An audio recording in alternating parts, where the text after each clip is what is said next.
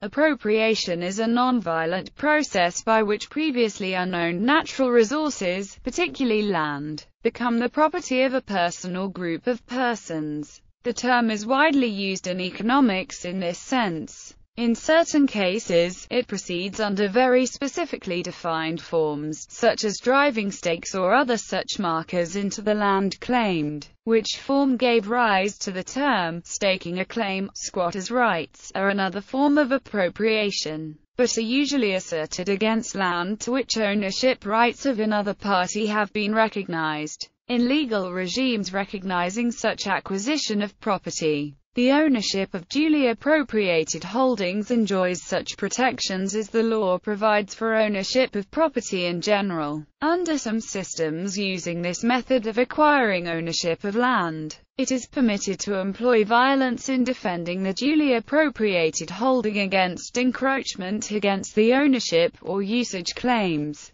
Again usually according to specifically defined forms including warnings to the encroaching party, exhaustion or unavailability of duly constituted law enforcement resources, etc. Libertarian and other property rights-oriented ideologies define appropriation as requiring the mixing of the would-be owner's labor with the land claimed. A prime example of such mixing is farming, although various extractive activities such as mining, and the grazing of herds are often recognized. Personal, physical residence is often recognized after some minimum documented continuous period of time, as is the erection of dwellings and other buildings on land whose ownership has not previously been recognized by the authority whose recognition is sought. Appropriation through use can apply to resources other than the exclusive right to use of the surface of the land. As mentioned, mineral rights are recognized under various conditions, as are riparian rights.